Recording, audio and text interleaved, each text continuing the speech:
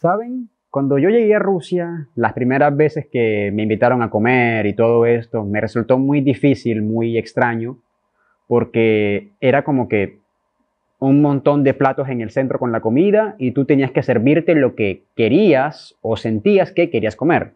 Y para mí era como que, hey, yo no sé qué quiero comer, yo no sé cuánto debo o quiero comer. ¿Sí? En América Latina estamos acostumbrados a una forma diferente. ¿Y cómo es?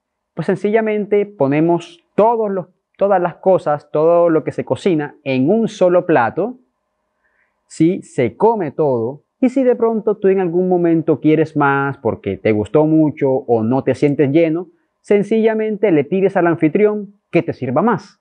Es así de fácil, muy sencillo, ¿no creen?